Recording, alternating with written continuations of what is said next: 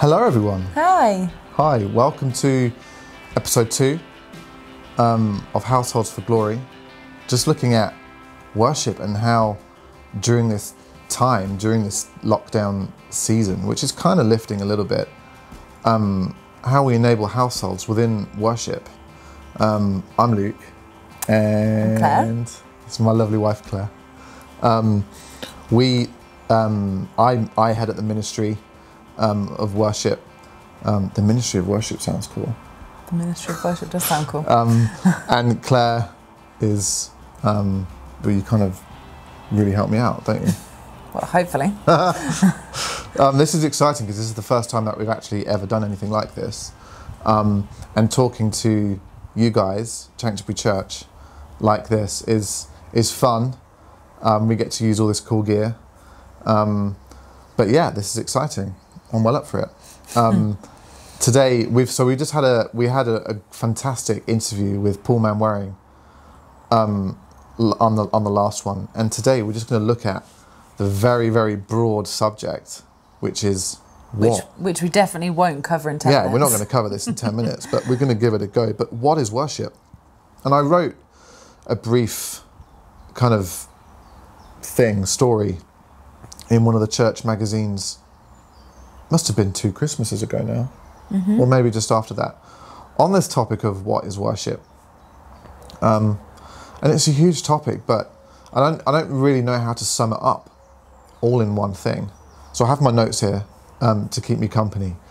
Um, but I think one one of the most important things to me, um, as the worship pastor here, is I think I, I encapsulated this in the magazine, but and I described it as pouring out the gushings of our heart. And just to unpack that a little bit, there's so much that goes on in our heads, in our lives, in our circumstances. And there's so much that we could be inwardly, inwardly looking at. You know, when you're in a, a worship sort of time, time of worship, and I've certainly been there before, and you kind of feel maybe self conscious that you're questioning how bold you are being in that moment. Am I meant to raise my hands now? Or am I meant to be singing at the top of my lungs? Or am I meant to be doing anything that is worshipful? And I just wanted to say that although those are very understandable things, but one of the one of the worst enemies for worship is self-consciousness. And the thing is, worship is complete abandonment to ourself. And so often when we look at the problem, it's actually more of a problem looking at the problem rather than looking at the solution, which is Jesus, and fixing our eyes on Him always. Now, He longs to see a people determined to exalt Him above any circumstance, above anything that we're going through, above anything that we're going through. And we worship Him because of His worth, not because of what we can get out of it. I've done this before where I've been singing or worshipping in a way that is almost trying to manipulate God into doing something to me or for me or giving something to me. Mm-hmm. Hey, I'm going to worship now because I want to mm-hmm. get something out of it. Rather than, no, no, no, no, this isn't about me. This isn't about what I want or what I'm going through. And although those things are very understandable, we all go through it. But what I'm trying to say is by looking at the problem, we're not going to solve it. By looking at the solution, the answer, we're going to, all of our problems are going to dissipate. Um, not maybe straight away, but certainly our hearts. Certainly in our hearts, we are giving of ourselves. And in a way, that's what you could call surrender. Um, I don't know if you want to say anything No, it's off good. the back of that. I think when I was thinking about what I would say, um, as Luke said, it is a massively broad subject. so it's like, where do you even start? but the one thing that came to my mind, um, which I've shared with our worship leaders before, um, was um, I was at a conference years ago now, and Kim Walker was talking about how, as as worship leaders, how we engage the congregation, but also how we just engage with them and see it as a more of a we're in this together rather than us on stage, you down there. And I remember she spoke about this connection has to be established before this one is. Yeah. And and that's I don't we obviously that's another subject in terms of leading worship, but um I just always remembered that and since have often been asked and we we again had this discussion with our worship leaders um probably about a year ago now and Luke asked us all um what we felt as individuals was a strength and a weakness of ours in leading worship.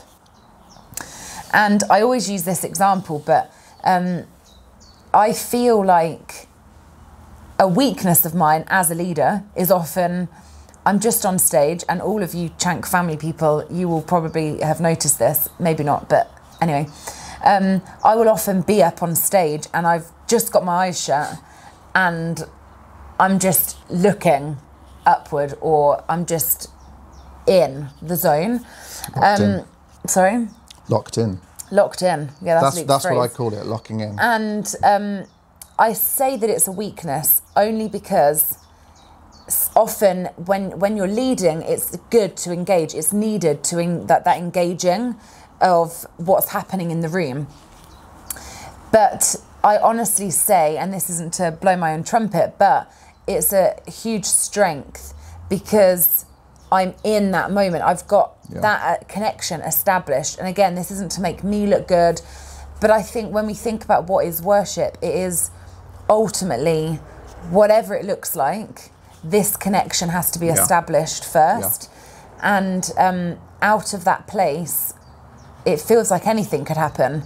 Um, and I don't know if that's even Yeah. relevant. That's but I really really good. It's so important that when we think about worship, we've asked people this question before, and they're like, worship is just being fully surrender, um, fully um, abandoned in praise and dancing, undignified, and you know, looking crazy, and all of that is amazing. And if that's your expression, then it's beautiful and it's amazing. And we, as the worship pastors, we totally embrace that. Um, but my heart is that when it comes to really what is the heart of worship, the real true depth, intimate side of worship, is that actually, even if we may not have a moment where we feel like we just need to dance and go crazy, um, that actually our heart and our spirits are always so connected with God anyway. Yeah. And it's often our heart, um, our heads, and our minds that have to align Yeah. um, because our spirit's are already connected. Um, and so, but the the reality and the awareness of that connection and our investment into that connection, for me, is what I would say is worship. Yeah. Now, I know that I've used Yeah. that example as a strength of mine, but also a weakness. I'm not for a second saying that I've got it all sorted, Yeah. um, because that connection. It's why we have to spend time with Jesus to get to know Him.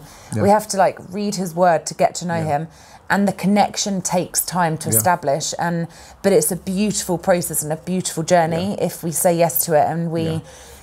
Wholeheartedly go like fully Yeah. in to invest in Yeah. it. So I hope that helps. I yeah. just that's so so it, good. there's just the importance of um, that deep connection with him, and Yeah. it's what his he's so wanting it. He's so hungry for his kids just to come, and yeah, Yeah, that's so good. It talks about it in John 4, doesn't it? I'll just read, I'll read a little bit from there, but it talks about the heart. Um, John 4, this is the Passion Translation, just because I, th- I love it because it's so poetic and it's so passionate, the Passion Translation. um, so Jesus is talking to a woman at the well who just said, You must be a prophet. And Jesus says, Believe me, dear woman, the time has come. Oh, the time has come when you won't worship the Father on a mountain, nor in Jerusalem, but in your heart. And what he's saying there is that there isn't going to be a location that you have to go to. Because at the moment, you've got to go to the temple, right? That's where you go to worship. But when, what, I'm, what I'm about to do for you is going to mean that you become the temple. And so wherever you go, you don't have to go to this location or here or here. I'm going to reside in you. And I'm looking for your heart. I want relationship with you. I just want to love on you. And for any of us that are parents, you kind of get it. Because there's nothing our children could do to make us love them more. Um, and it's the same with Jesus. And he's just, he's jealous. He wants, he wants all of us all the time because he loves us so much. And so for me, when I look at and think about what is worship, I'm laying down or I'm putting aside all of my ambitions or mm-hmm. all of my problems Yeah. and all of my insecurities. I'm just going to put them down because there's no good looking at the problem. And I'm just going to put them to one side and I'm going to fix my eyes on Jesus. And I'm going to let whatever happens happen. I don't ever want songs or thoughts or even prophetic songs that we do so often at Chank to manipulate God into doing something really precious in the moment. You know, prophetic songs that we sing are normally our songs to the Lord. And then sometimes the Lord's song is his song to us. Hmm. I don't know if that makes sense. Let me say that again. Prophetic songs, so times that we sing out prophetically, or quite often we're kind of improvising on the spot.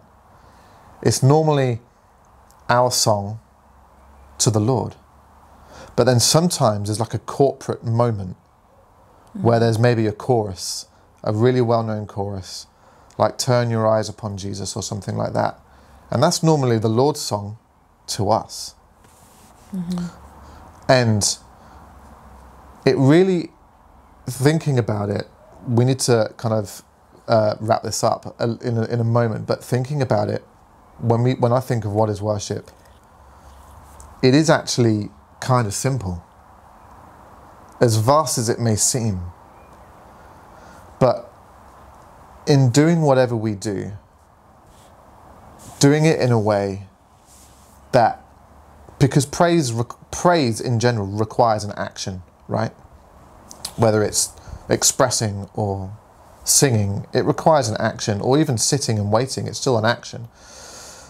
But summing kind of all that up, it's in whatever we're doing in the moment or together, it's placing a value on the worth of Jesus and what he's done, and recognizing his value, recognizing his worth, that he is worthy, that he is good, that he loves us, all of that stuff. Um, so I, I really kind of want to do more, um, but I hope this has been useful, um, guys. And We just bless you Yeah. on the journey of. Yes, we've told you some um, of our thoughts behind what is worship, but we ultimately just bless you in in your journey of discovering what Yeah. worship is to you and what that looks like to you. And I think it's always important to, I suppose, the reality of how in different seasons it can look so different as well. That ultimately, you know, like what I said, it's about this connection, and that, I mean, that can happen regardless of what season we're in. But even just our expressions or what that practically looks like changes from season to season, and that would probably be a great topic for another time. But Yeah. we just bless you in Yeah.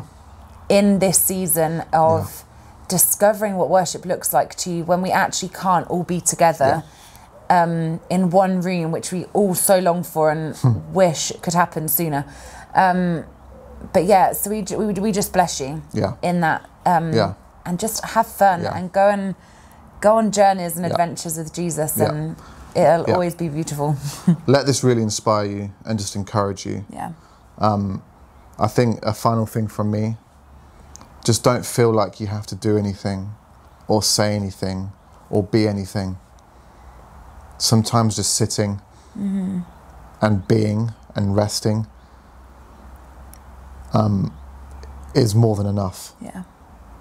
You know, um, I'll finish on this, but one of the things that changed my life um, was when we were out in school in California um, at Bethel Supernatural School of Ministry. Someone asked Bill Johnson a question, and they said to Bill, Bill, every time I go to pray At night time. at night time, I just fall asleep. Hmm. Every time I go to have an intentional time with God, I just fall asleep. Hmm. and Bill actually started crying. And he said something which really changed me, but he said, I used to love it when my children fell asleep on me. In fact, I used to hope that they would, just so I could adore them even more. And it really marked my walk, marked my sort of the trajectory of my walk with God because he just wants us to fall asleep on him. Mm-hmm. Because he just adores us. He wants to love on us. And that just really changed everything for me. So I hope that little nugget there changes things for you too. The pressure's off. There's no pressure, there's no striving, there's none of that stuff. There's no trying to get a head start on gaining God's favour. We have everything we need.